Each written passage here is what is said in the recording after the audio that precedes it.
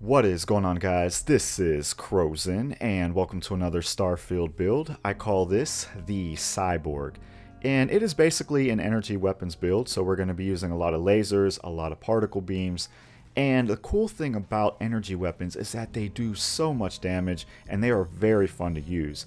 Uh, the bad part is there's just not a lot of variety. So when you compare it to, say, ballistic weapons, you have so many different ballistic weapons in this game Whereas energy weapons, not so much. You only have a handful of them, you know. So if you could get past that, and if you want to use weapons that are more space-like and something to cosplay, such as like a cyborg, then this is the build for you.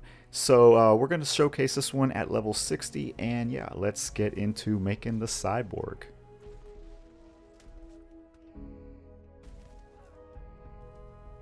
Starting with our background, we're going to select the Cyberneticist.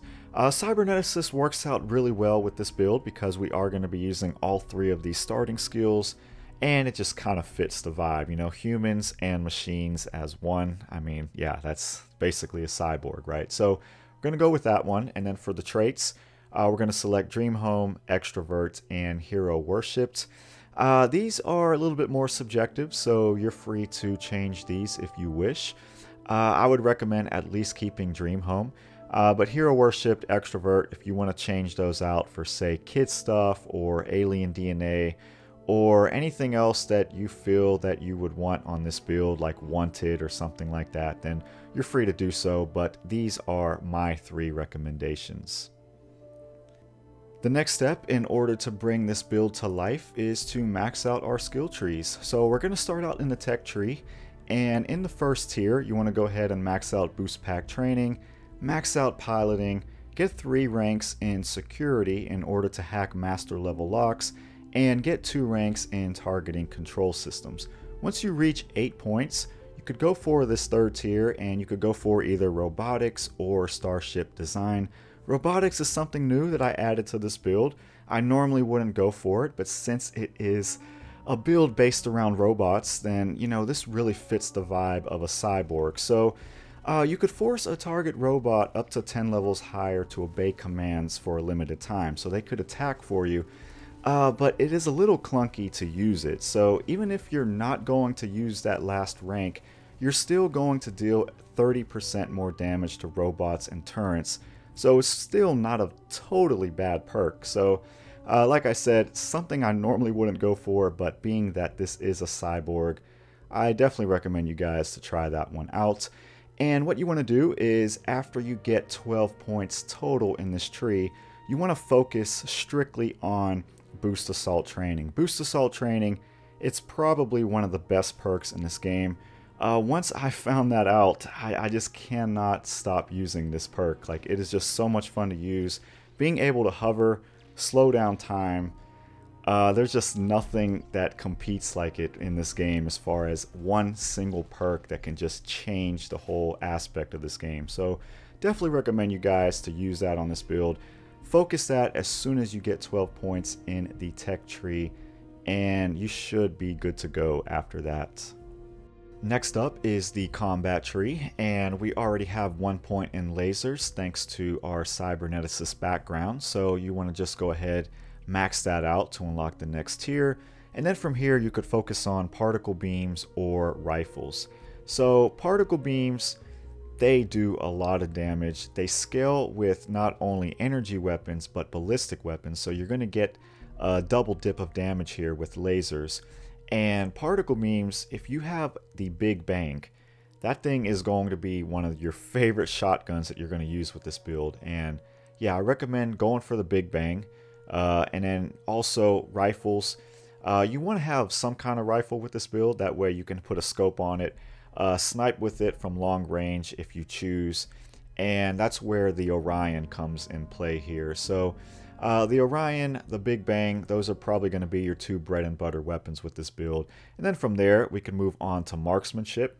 Since we're not really going to be using automatic weapons, marksmanship really comes in handy here. It's just going to make your critical hit chance so high and it's going to pair up really well with armor penetration, especially that last rank where every time you get a critical hit, enemy armor is decreased by an additional 25%, on top of the 50% that it already gives you with rank 3. So yeah, this is kind of how you want to set up your combat tree here. And yeah, after that, you should be doing some crazy damage on your energy weapons.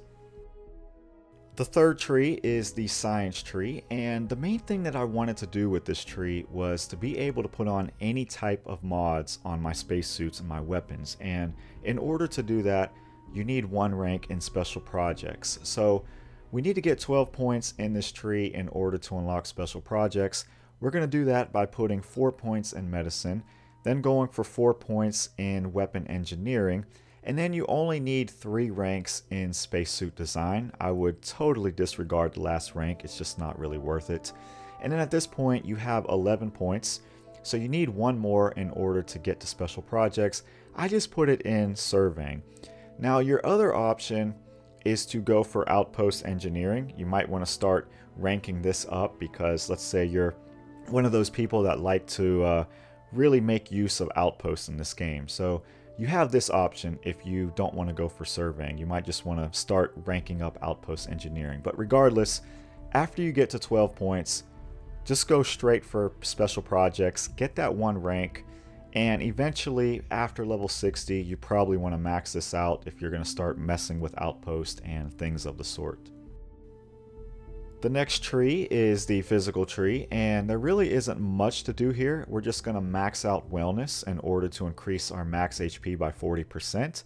That's really going to come in handy on the harder difficulties. And then we're going to put one rank into stealth in order to unlock the stealth meter. So um, this is going to come in handy because you still could actually stealth with this build when you're using a rifle and when you're sniping. So uh, if you really wanted to, you could actually go for like a hybrid build here and level up stealth all the way.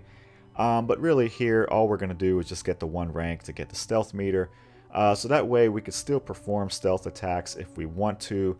And we can also stay hidden in order to steal things and so forth.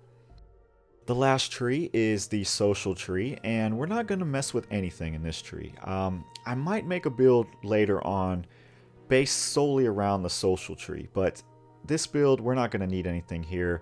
Um, the only thing I could recommend is if you want to max out persuasion for any kind of increased success persuading, or let's say you want one rank in theft in order to unlock pickpocketing. Uh, that's pretty much it here. Otherwise, I wouldn't mess with anything here. So, yeah, I hope you guys enjoyed this build. And yeah, it's a pretty fun build in order to use energy weapons. Like, Energy weapons, I just feel like there should have been more variety with them in this game, but the ones they do give you, they are pretty good. And yeah, I recommend you guys to give the Big Bang a try. Uh, that one is by far one of my favorite shotguns in the game, and it counts as a particle beam weapon too. So uh, try that out. You're going to enjoy it. And yeah, I uh, also recommend the Orion for a rifle. And yeah, those are pretty much going to be your two bread and butter weapons with this game. And yeah, you will enjoy it. So I hope you guys enjoyed this video and I will see you in the next one.